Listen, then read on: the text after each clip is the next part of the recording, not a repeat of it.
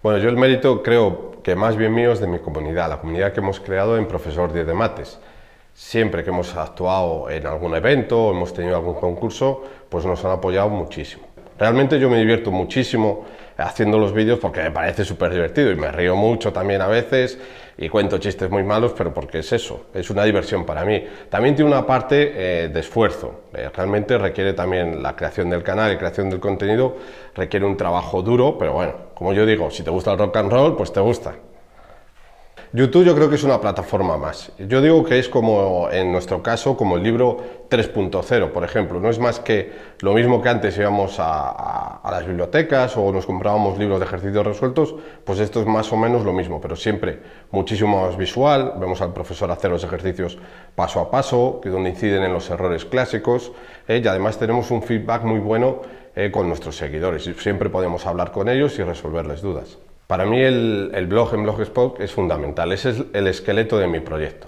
Yo a partir de ahí voy creando todo. Yo utilizo el blog eh, como, como, si fuese un libro. Ahí están los enunciados de los problemas. Si hay parte teórica, por ejemplo, pues ahí va la parte teórica. También he creado unos PDFs que se pueden descargar en el blog. Entonces tú lees el enunciado del problema, lo puedes resolver y luego ver en el vídeo si está bien o no está bien resuelto. Y también eh, tenemos ahí las redes sociales, es decir, es el esqueleto, yo creo que es la parte fundamental del proyecto Profesor 10 de Mates.